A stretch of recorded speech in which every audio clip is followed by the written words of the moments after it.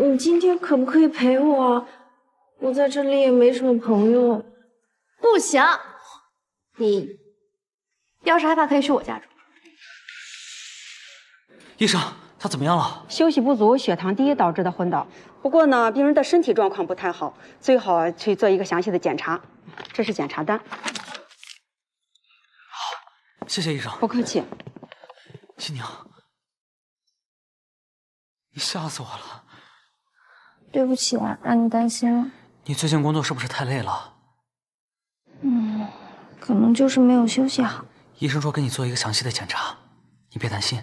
嗯。新娘，我去接个电话。嗯。哎呀，我刚从楼梯上摔下来了。你现在在哪儿？我在医院，我好害怕。你别害怕，我马上过来。怎么回事啊？我现在没事了。医生怎么说？好好吃饭，好好休息。新娘，有个事儿我得去处理一下。你去吧。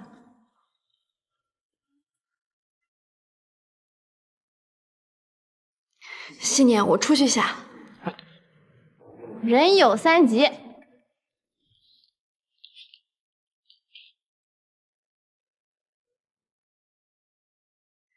哎，慢点儿。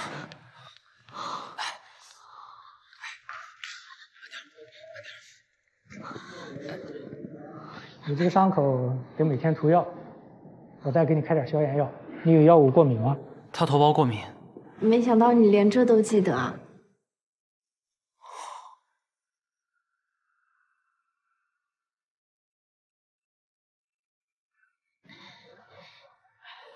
哎，你没事吧？你能走吗？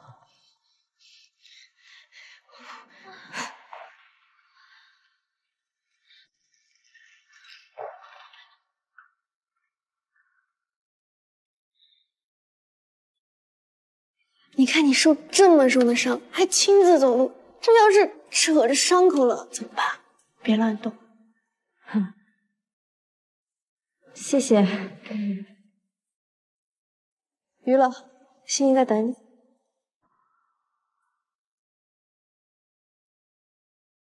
西田，我还有点事儿，就不能陪你回去了。可是我现在不敢回家，我怕他们又找上门来。你看，我已经把钱都给他们了，可是他们还是来了。我现在也不知道怎么办了。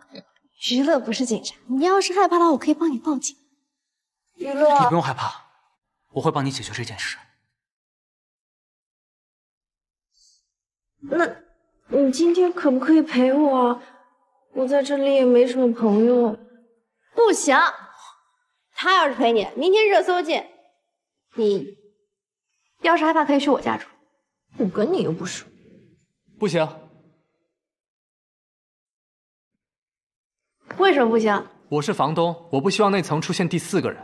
季总，她一个柔柔弱弱的女孩，现在伤成这样，无家可归，关我什么事？季总，你忍心看个女孩被要债的欺负啊？不是还有娱乐吗？娱乐不行，他得避嫌。我是单身，我也得避嫌。那你要避一辈子嫌？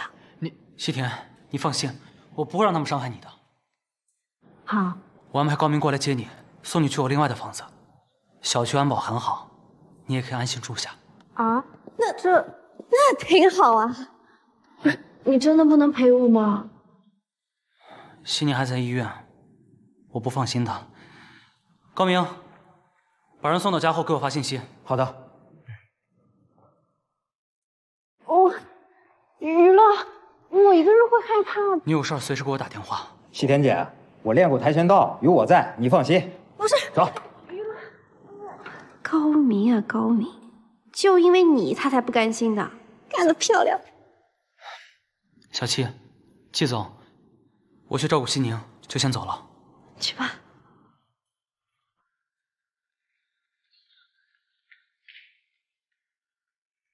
季总，我们走吧。不对，宋妍希全程在我的视线范围内，她并没有做任何改变娱乐的举动。那这一次的剧情变动是为什么？季总，你怎么了？难道是因为没有成功拆掉我 CP，所以不高兴了。